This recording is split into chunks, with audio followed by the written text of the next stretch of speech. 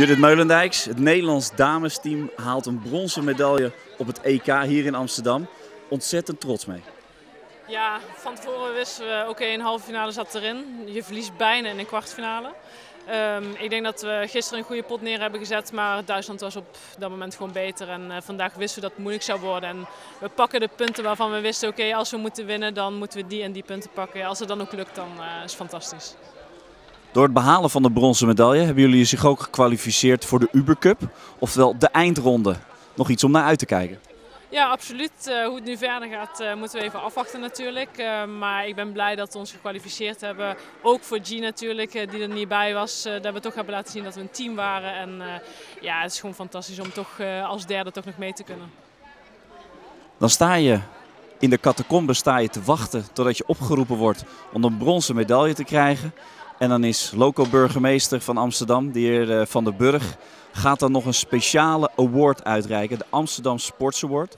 Een award die maar vijf keer per jaar aan een groot internationaal toernooi wordt gehouden. En je hebt hem hier in je hand. En dan hoor jij opeens jouw naam.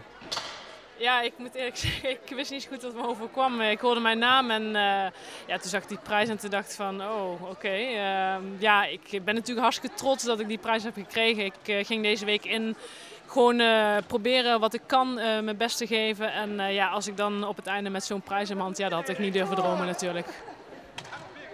Wat betekenen de prestaties voor jou voor de komende maanden, komende jaar?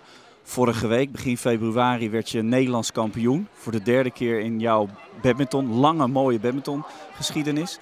Dan nu brons halen op het EK en dan ook nog zo'n hele mooie award. Wat doet dat met je? Ja, ik moet zeggen dat uh, ja, raakt me natuurlijk onwijs. Ik bedoel, uh, eerst die bronzen plak en dan hoor ik ook nog dat ik zo'n prijs gewonnen heb. Ja, dat ja, heb ik geen woorden voor als ik eerlijk moet zeggen. Het is echt uh, fantastisch. Maar hoe lang ga je dan nog met het spelletje op dit niveau blijf je doorgaan?